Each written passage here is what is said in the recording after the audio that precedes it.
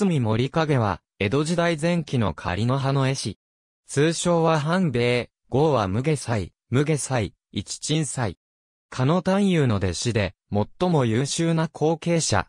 娘に、慶州画家として歌われた、清原幸信がいる。その画力や寛永から、元禄のおよそ60年にも及ぶ活動期間、現存する作品数に比べて、人生の足跡をたどれる資料や手がかりが少なく、謎が多い画家である。式工作図石川県立美術館像、重要文化財通称を半兵衛と言い、無下祭、無下祭、一鎮沖縄、暴院などと合した。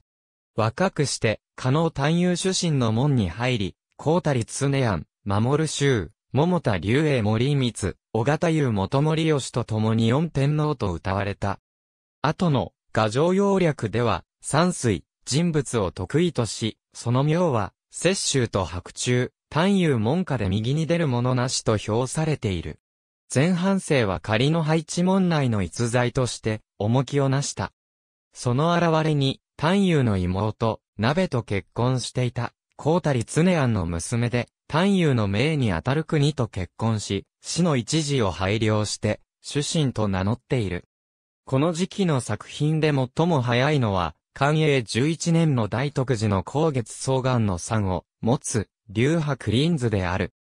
他に、寛永18年、加野直信、信正と共に参加した、知恩院小法上下段の間の、色山水図や、随流寺の、色山水図襖八面が挙げられる。この時期は、単遊画風を忠実に習い、終作期間に位置づけられる。森影には、数岡爪がおり、二人とも父を継いで絵師になっている。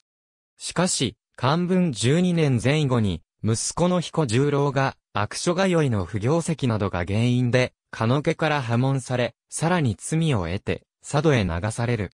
また、娘の幸信も、同じ仮の門下の熟成と駆け落ちをするといった不祥事が続く。これがきっかけとなったのか仮の葉から距離を置き、後に金沢に向かい、当地で充実した制作活動を送った。彼の代表作である、夕顔棚納涼図屏風や、四季光作図屏風は、この時期の作品と推定され、農民の何気ない日常の一コマや、制業の様などを朴突な作風で描き、森影独自の世界を切り開いた。晩年は、京都に住み、個室、領中の、不相画人伝館では、藤村勲健らの茶人と交わり茶三昧の生活を送ったと記されている。しかし、制作活動は最晩年に至るまで衰えず、鴨競馬、宇治茶摘水屏風など老いを感じさせないみずみずしい作品を残している。元禄11年に、陽剣の肖像画を描いたとされ、この後に亡くなったと推定される。詩、単遊とは異なり、味わいあるとつとつな、墨線が特徴で、工作図などの農民の生活を描いた、風俗画を数多く描いた。単遊以後の仮の葉がその画風を絶対視し、次第に形式化、形骸化が進む中で、森影は彼独自の画風を確立したことは高く、評価される。彼の少し後の同じ仮の葉の絵師で、やはり個性的な画風を発揮した、花房一丁と並び評されることが多い。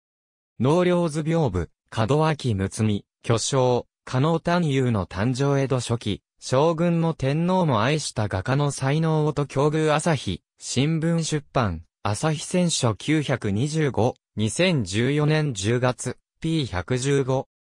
門脇によると、加野直信、安信、駅新羅丹遊周辺の絵師でも200点もの作品は残っていないという。美の巨人たち平成16年7月17日放送、くすみ森影、夕顔棚納涼図屏風、吉沢正、森影の一面夕顔棚納涼図を中心に、国家743号1954年、武田恒夫1994年区の、内山 P14。久隅守景、夕顔棚納涼図屏風軽みの奥深さ、松島正人、アートアーカイブ探求、美術館、アート情報アートスケープ。ありがとうございます。